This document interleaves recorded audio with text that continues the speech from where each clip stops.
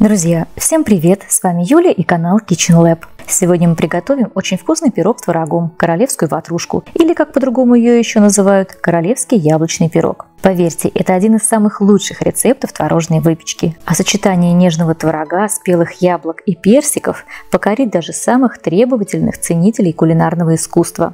А готовить пирог совсем несложно. Ну что ж, приступим. Форму для выпечки лучше застелить силиконизированным пергаментом, а также смазать сливочным маслом и щедро присыпать сахаром.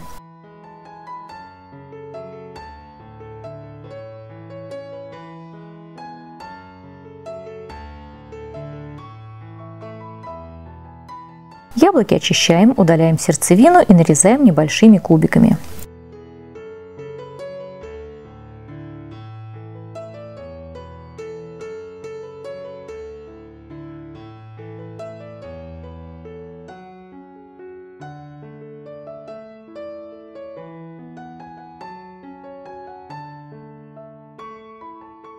Из персиков удаляем косточку, шкурку можно не снимать. Их также нарезаем небольшими кубиками. В качестве начинки также можно использовать груши, сливы, абрикосы и изюму. Словом, все, что вы любите.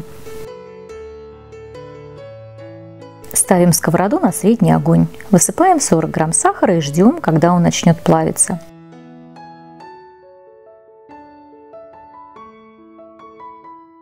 Когда большая часть сахара растает и приобретет карамельный цвет, аккуратно перемешиваем его силиконовой лопаткой.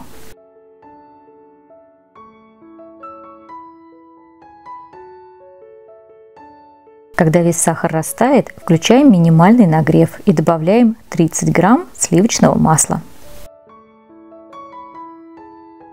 Выкладываем яблоки с персиками.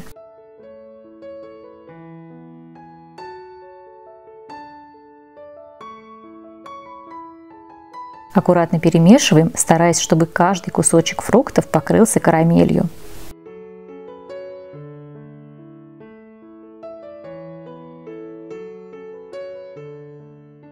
Как только вся жидкость испарится, выключаем нагрев и убираем начинку с плиты. Пока фрукты остывают, приготовим крошку. К муке добавляем щепотку соли, 40 грамм сахара и разрыхлитель. Хорошо перемешиваем.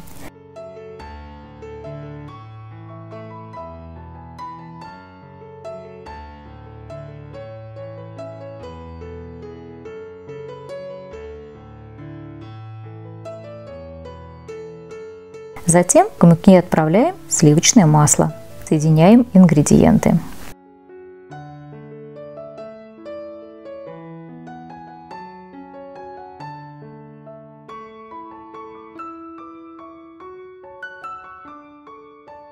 В итоге должна получиться рассыпчатая крошка. Если какие-то кусочки теста у вас оказались немного крупнее остальных, ничего страшного. Убираем тесто в холодильник на 10-15 минут. В миску выкладываем творог, 30 грамм сахара и среднее яйцо.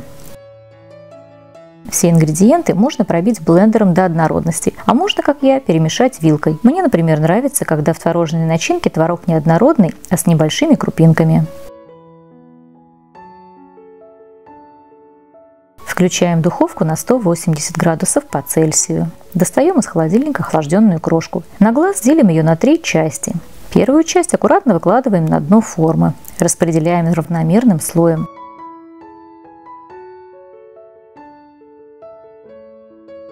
С боков делая небольшие бортики.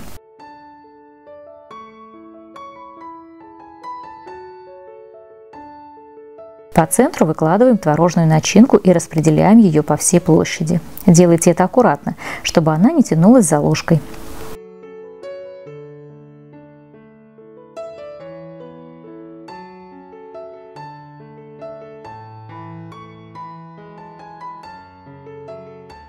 Сверху на творог выкладываем вторую часть теста. Также по краям делаем небольшие бортики. В центр, не доходя 1 см до края, равномерным слоем выкладываем фруктовую начинку –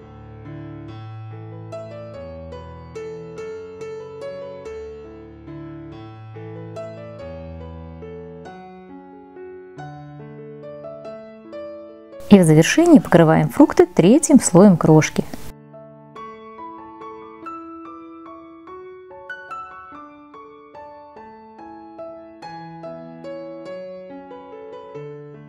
По желанию сверху слегка можно присыпать сахаром с корицей. Выпекать 35-40 минут при 180 градусах на среднем уровне в режиме вверх-вниз. Учитывайте особенности своей духовки.